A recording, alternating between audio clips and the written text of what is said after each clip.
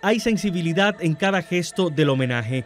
Es el joven Fran País el motivo que reúne otra vez a múltiples generaciones del pueblo santiaguero. 85 años han pasado de aquel séptimo día de diciembre en el que el primogénito de Rosario y el reverendo País le nació a la ciudad.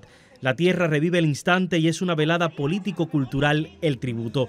Junto a combatientes de aquellos días de clandestinidad y guerrilla presiden el acto Lázara Mercedes López Acea, miembro del Buró Político, junto a Omar Ruiz Martín, ambos del secretariado del Comité Central del Partido Comunista de Cuba.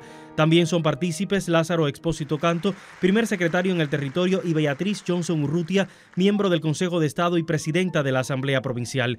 Yenisei Cruz Carreño, segunda secretaria del Comité Nacional de la UJC, es en sus palabras centrales quien reafirma los valores de Frank como necesarios para enfrentar los desafíos de estos tiempos.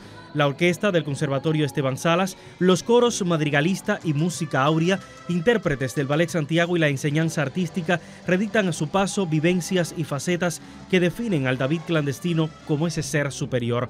Casi al finalizar, un ejemplo vivo inspira el estreno del compositor Melvin Rodríguez. La obra se consagra al joven asesinado en el callejón del muro.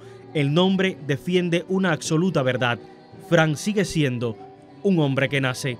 Desde Santiago de Cuba, Dairon Rams, Sistema Informativo de la Televisión Cubana.